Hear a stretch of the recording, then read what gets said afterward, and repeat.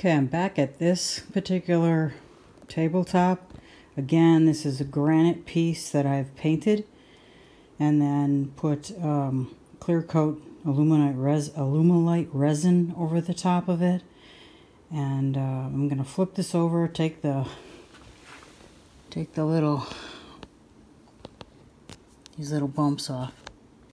I'm just using a chisel here to uh, chip away and what I'm doing is going from the outside in so if I hit it this way and knock it off it, the chance of it peeling off this edge is greater and I don't want to do that because this edge is perfect the way it is. I just need to level it off of the base of this granite piece which I will then hook up to the, uh, attach the table base to, the, and I'll show you that. So when you're cutting off this edge. You have to be careful. It's stone, but it granite can still be chipped and cracked and broken, especially with a chisel. So you have to be careful at the angle you do it. I, I'm just trying to get a right angle to grab it, but not dig into the granite. Just to grab these bumps, but not dig into the granite because it's inherently going to be a problem.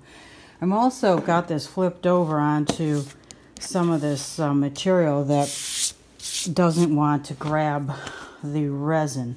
Although this resin is dry, I still need to be careful. I have put it over, flipped it over on a cloth before prematurely and I've ended up having to sand it all down and pour another coat of resin on it, which really isn't fun after you've spent a lot of time trying to get it where it is and it looks good and then you have problems. So those are just some helpful tips, I hope. So I have added the tabletop to this piece. If you can see that I have textured it with something called Bondo. It's got a resin and a hardener in it, not unlike the uh, resin that I use from Alumilite. But I've textured it, so it's cool that it allows me to do this. And I think I'm going to leave it white because it's just interesting in and of itself. But uh, it's not attached yet, but I will attach it with an epoxy. And then I'm going to add the same texture here. I'm going to add it all the way over and down to the edge of the top of the granite so there's some continuity into the piece. So I'll show you that when I'm finished. This is the all-purpose putty Bondo that I'm using.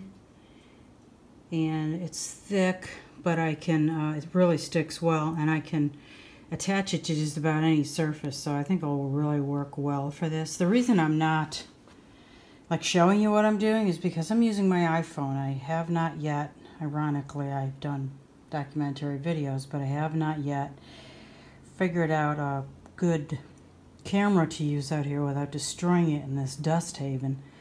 Uh, so I'm in the process of doing that too, and hopefully these videos will become more visually uh, informative for you in the future.